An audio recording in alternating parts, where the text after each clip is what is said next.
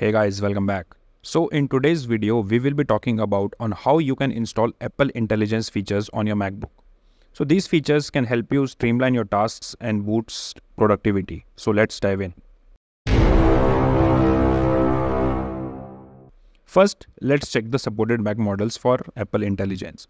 So to use Apple Intelligence features on your Mac, your Mac needs to have their latest M series chipset. So be it M1 series, M2, M3 or M4. But if you have an Intel Mac, Apple Intelligence features will not work on your MacBook. So once you have verified the system requirements, click on Settings app and now click on General and click on Software Updates. Now you will see that you have this latest 15.1 macOS Sequoia update waiting to be installed. So first we have to install this update on your Mac. Just click on Update Now, accept these terms and conditions and type in your password and your update will begin. So this might take some time depending upon the speed of your internet connection. So once the system is updated and restarted, again go back to the settings and confirm the update to 15.1 that is macOS Sequoia. Now you will see this Apple Intelligence and Siri tab on the left panel of your settings. Just click on it. Now you will see this join the waitlist option. So just click on join Apple Intelligence waitlist and you are good to go.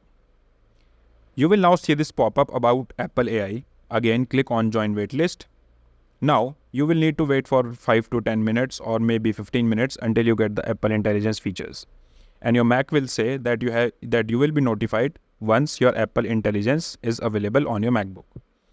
So, uh, after a while, once you have received the Apple Intelligence on your Mac, you simply have to click on Turn on Apple Intelligence. Now you will see this pop up where you will be informed about what more you can do with Apple AI. So just keep pressing continue until it is over. You can also go through these and learn more about what features Apple Intelligence has to offer. So if you want to know more about what features have been added to the Apple Intelligence, you can just click on learn more. So here is uh, a list of everything you can do with Apple AI. So you can use writing tools with Apple Intelligence, use Apple Intelligence in emails, in messages, Apple Intelligence with Siri. You can also summarize your web pages. You can summarize an audio recording. You can use Apple Intelligence in photos. You can also summarize your notifications and reduce interruptions with Apple Intelligence. So again, here is a list of all the compatible Mac devices that can run Apple Intelligence. So Apple Intelligence is available only on macOS 15.1, that is macOS Sequoia, on Mac models with M1 or later chipset.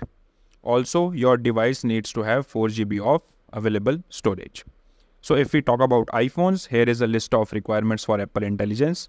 So you need to have iPhone 16 or iPhone 16 Plus or 16 Pro or 16 Pro Max or 15 Pro or 15 Pro Max. And it should have iOS 18.1 and 4 GB of iPhone storage. You can also visit the official Apple Intelligence website and get to know more about what you can do with Apple Intelligence. So here is a list of everything you can do with Apple Intelligence with your Apple ecosystem.